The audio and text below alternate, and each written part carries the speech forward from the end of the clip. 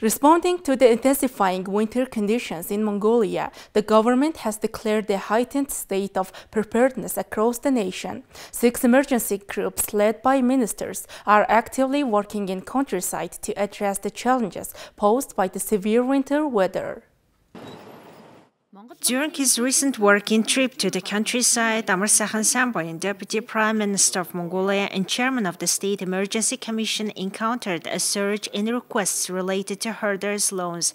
Consequently, the Deputy Prime Minister convened a meeting with the central and commercial bank officials to explore the possibility of postponing loan repayments.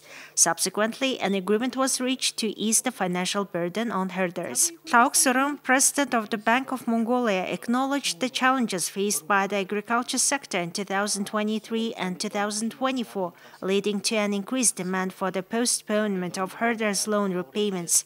He stated that the central bank is ready to provide policy support. The Bank of Mongolia's database reveals a total of 1.2 trillion Mongolian tugriks in loans extended to 140,000 herders. Of these, 51.2% or 600 18 billion Mongolian tugriks was provided by State Bank, while Khan Bank provided 585 billion Mongolian tugriks, equal to 48.5 percent.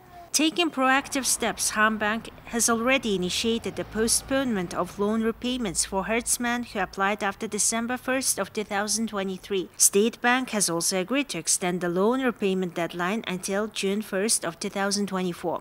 In a related development, the National Reinsurance Company has committed to providing compensation for indexed insurance coverage for herdsmen insured in September and October of the previous year.